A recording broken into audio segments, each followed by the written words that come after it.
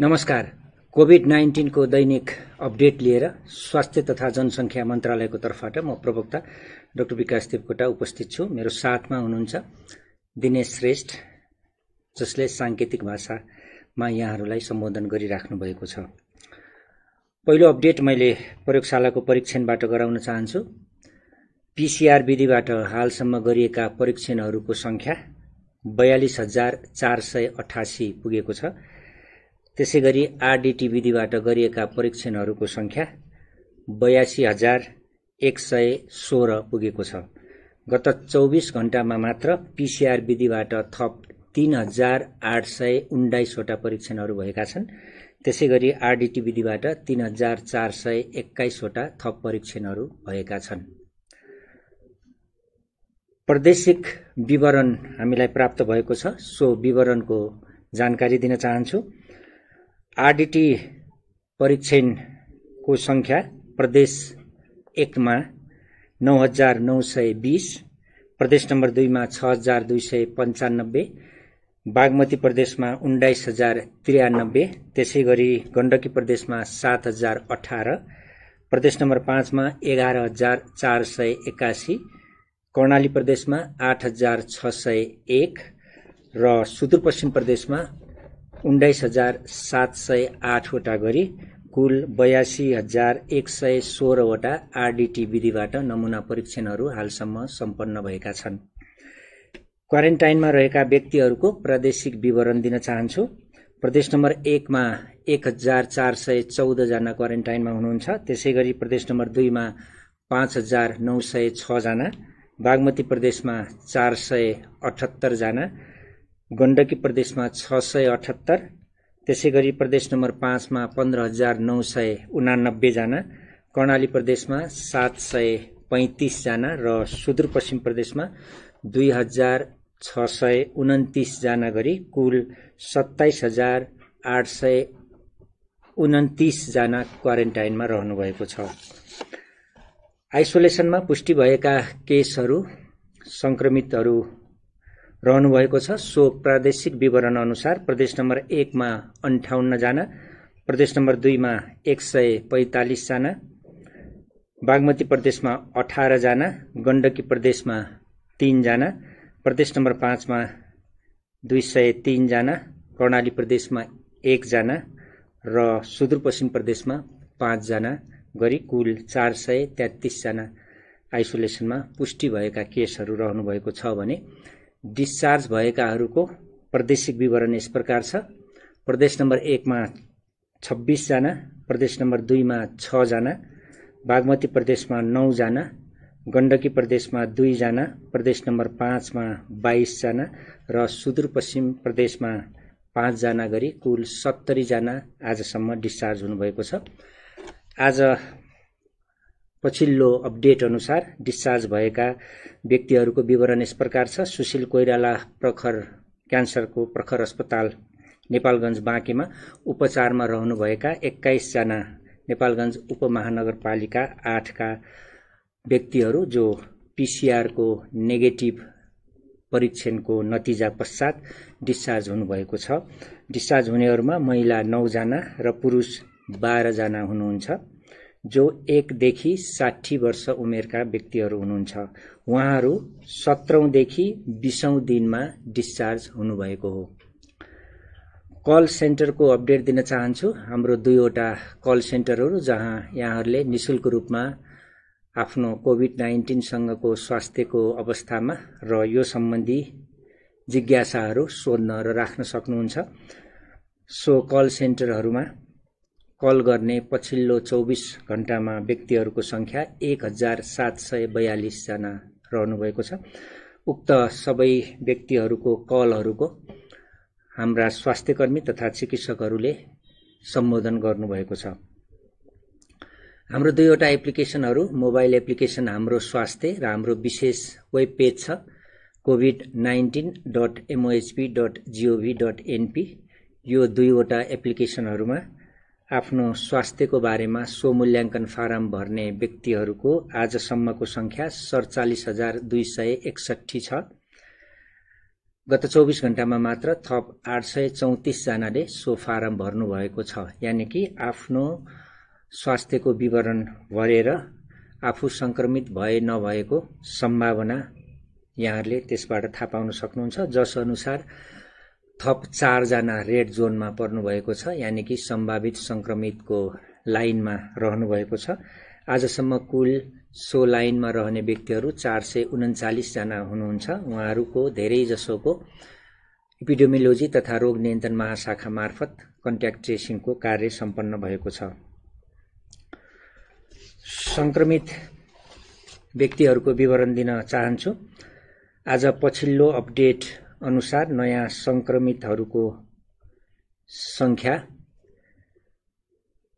उन्नाइसजना रहेको छ। सेती प्रादेशिक अस्पतालमा भएको प्रयोगशालामा कैलाली जिल्लाका तीनजना पुरुषहरू उन्नाइस वर्षीय तेइस वर्षीय र छब्बिस वर्षीय पुरुषहरू। उहाँहरू सबै सरस्वती मावि क्वारेन्टाइन जानकी गाउँपालिका कैलालीका हुनुहुन्छ।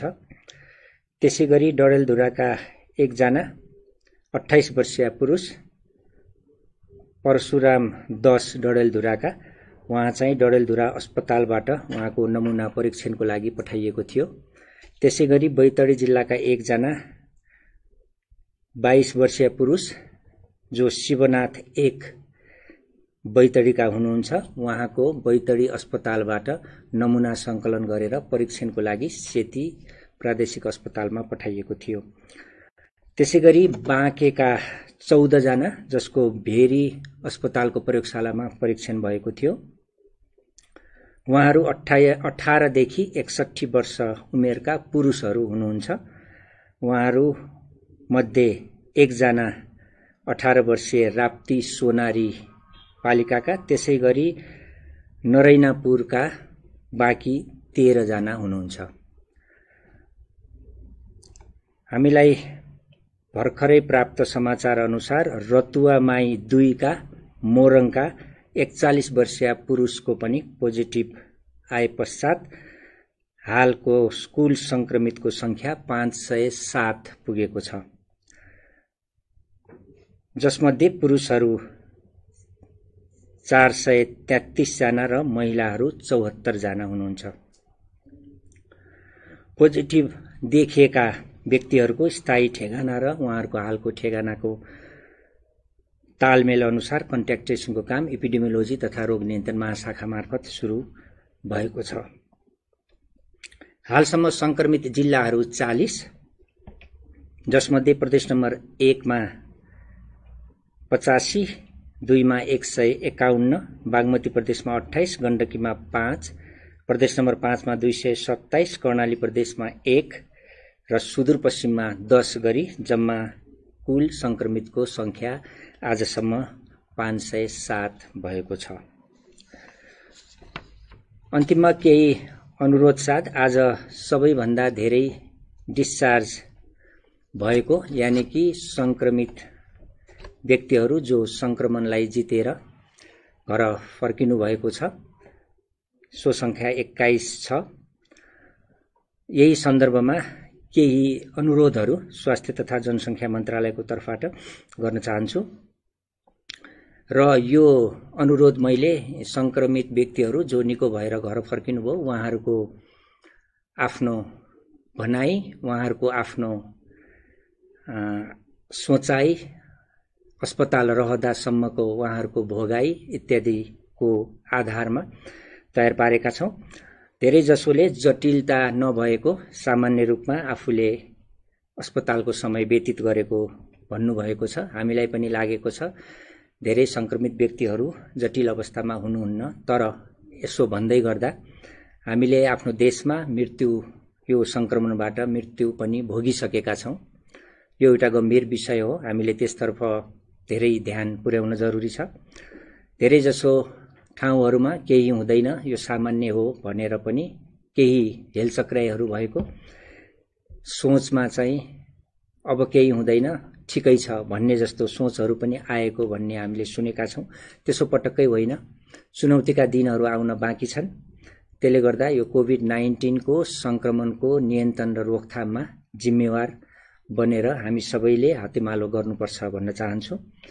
धेरैजसोले मनमा विश्वास भएको तर विज्ञानले चुनौती दिएको कुराहरू गर्नुभएको छ। यो मनमा विश्वास हुने आत्मबल बढेको कुरा। त्यहाँ रहँदै गर्दा डिस्चार्ज भइसकेपछि जुन कुरा उहाँहरूले सुनाउनु भएको छ त्यो अत्यन्त सकारात्मक कुरा हो। यो एउटा हाम्रो कोभिड नाइन्टिनसँग लड्ने टुल पनि हो। आफ्नो मनको विश्वास आत्मबल बढ्नुपर्छ। धेरैजसोले संक्रमित हुनु अगाडिका र संक्रमित भएपछिका दिनहरूमा आफ्नो स्वास्थ्यको स्थितिमा केही फरक नभएको सामान्य नै रहेको तर मनमा एक किसिमको डर त्रास भइरहेको कुराहरू बताउनु भएको छ। हो अवश्य पनि हामीले चाहिँ आफ्नो मनलाई स्थिर राख्न जरुरी छ। मनोसामाजिक परामर्शदेखि लिएर आफ्नो त्यहाँ रहँदासम्मको स्थितिमा आफ्नो शारीरिक तन्दुरुस्त पनि राख्नुपर्ने हुन्छ। धेरैजसोले सङ्क्रमण हुनु अगाडि नै टेस्टहरू गर्न पाए पनि हुन्थ्यो गर्न मन इच्छा थियो भन्ने कुराहरू पनि लेख्नुभएको छ भन्नुभएको छ।